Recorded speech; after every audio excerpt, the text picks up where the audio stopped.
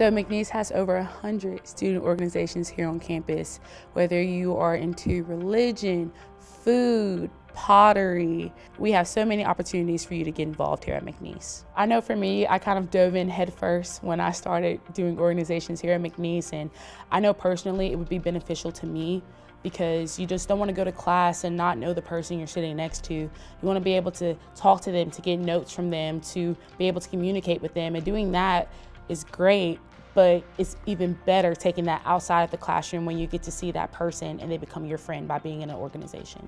Since I'm a peer leader here at McNeese, we teach some traditions at our summer orientations, and one of them is to not step on our seal, located in the quad.